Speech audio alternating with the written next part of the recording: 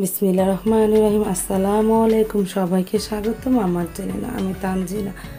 আমার কণ্ঠটা এখন থেকেও ভালো হয়নি, এখন থেকেও বসা বসা। কণ্ঠটা ভাঙ্গা ভাঙ্গা।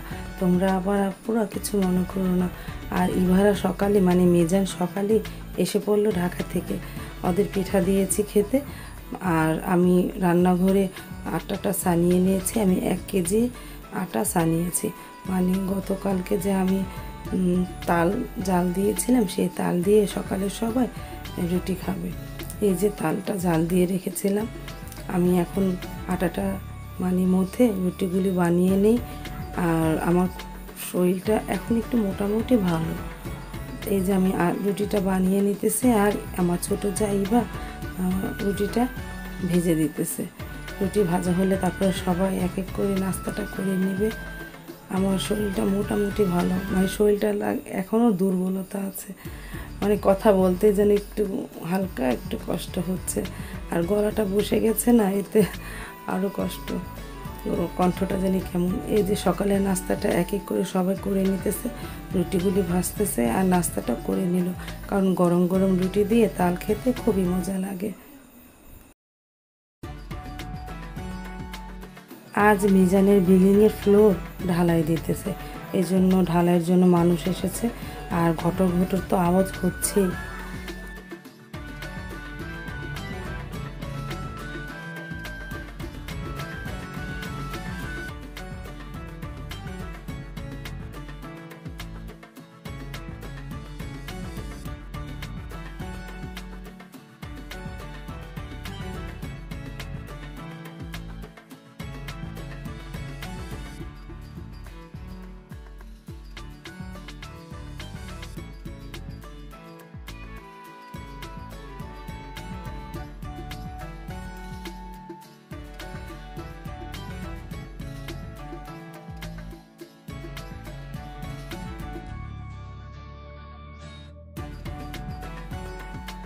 তারপর আমার হাজব্যান্ড নাস্তা খেয়ে ভাগ্যপুর বাজারে গিয়েছিল, এনেছে লাউ শাক আর এনেছে নদীর কিছু মাছ।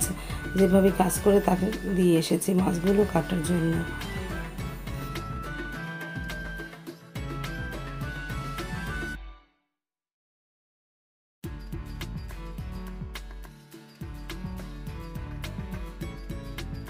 সব কিছু মোটামুটি গুছিয়ে রান্নাঘরে এসে পড়লাম দুপুরে রান্নাটা শুরু করে দিলাম দেশি মুরগি, আলু দিয়ে কষিয়ে রান্না করব। আর পাশের চলে ভাতটা বসিয়ে দিয়েছি শাক বাঁচতেছে, শাক বাছা হলে শাক রান্না করব। আর নদীর কিছু হাঁসটা মাছ মানে পাঁচ মিশালি মাছ আছে, সেই মাছগুলো রান্না করব। শাক তো বাছা হয়ে গেছে, তারপরে আমি ধুয়ে নিতেছি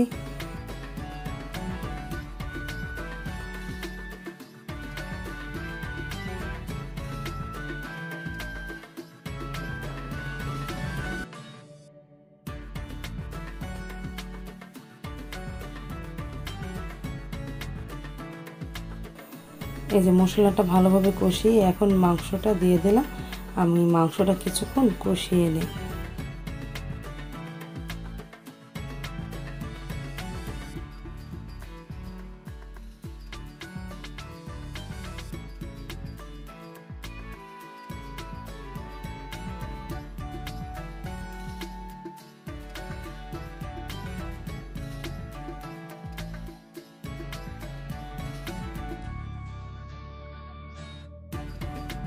আনারস তো কাটা হয়ে গেল, আমরা এখন সবাই মিলে আনারস খাব। মুরগি গোস্ত পানি দিয়ে দিয়েছি, কষানোর পর আলুও দিয়েছি। এখন ঢেকে দেবো, মিডিয়াম আছে, আস্তে আস্তে মুরগি গোস্তটা রান্না করে ফেলব। আর এই চোলায় আমি শাকটা বসিয়ে দিয়েছি।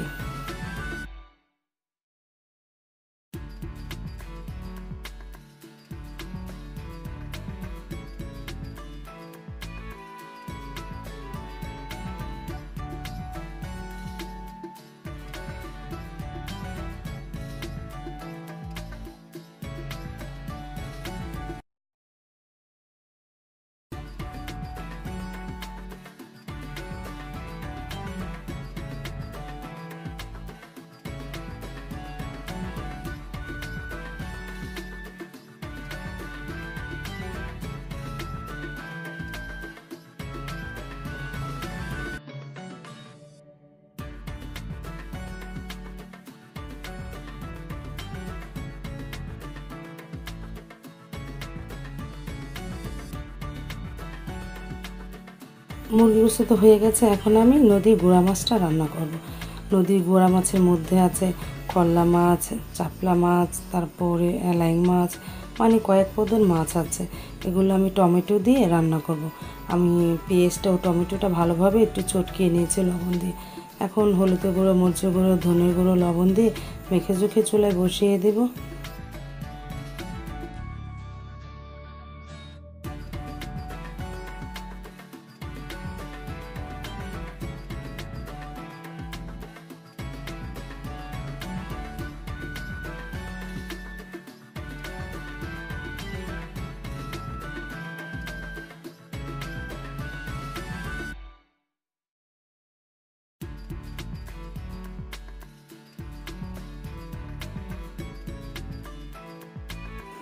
তরকারিটা প্রায় হয়ে এসেছে, আমি একটু পরে নামিয়ে রাখব।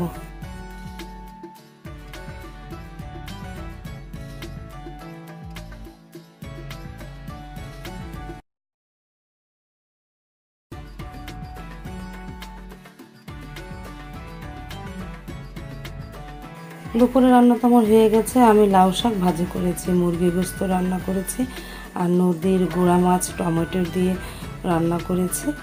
ভাত চাল তো টক তো আছে।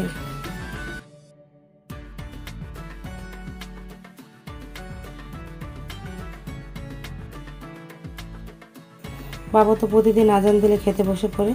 আজ আমার ছেলে খেতে বসে পড়ল।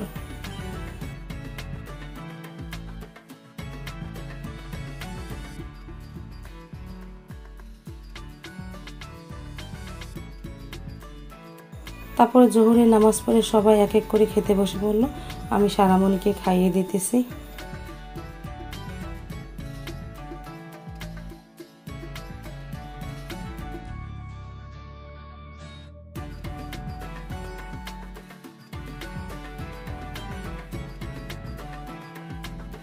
ফ্লোর ঢালাই কমপ্লিট, এখন লেবাররা চলে যাবে।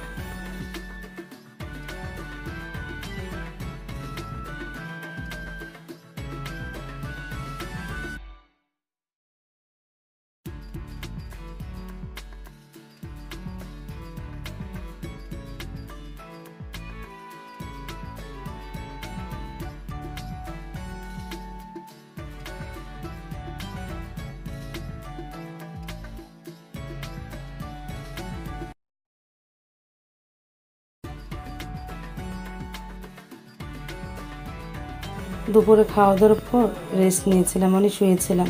সন্ধ্যার একটু আগে উঠেছি। উঠেই তারপর রান্না করতে এসে বললাম রোস্ট রান্না করব, সাদা পোলাও চিকেন ফ্রাই করব, এই বড়াপা এসেছে তো মানে একটু পোলাও রান্না করে খাওয়ালাম।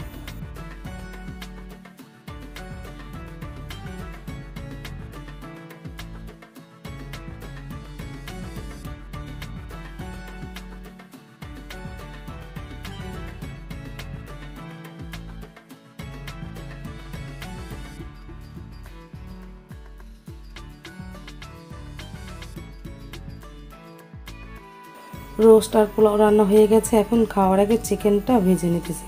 মানে চিকেন ফ্রাই করতেছি।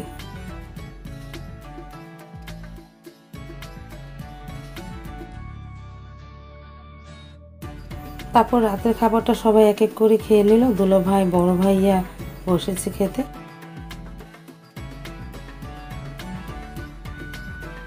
আমার হাজব্যান্ড দোকান থেকে আসার পথে দই নিয়ে এসেছে।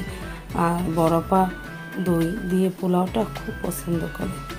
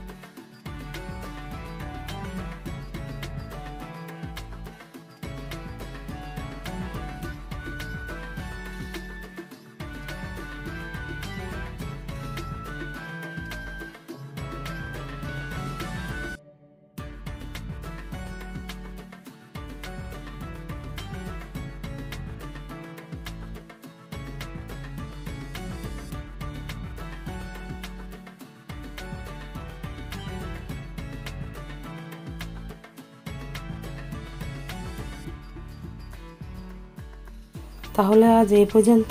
তোমরা ভালো থেকো। সবাই খোদা হাফেজ। দেখা হবে আগামীকাল নতুন আরেকটা ব্লগ নিয়ে। আসসালামু আলাইকুম।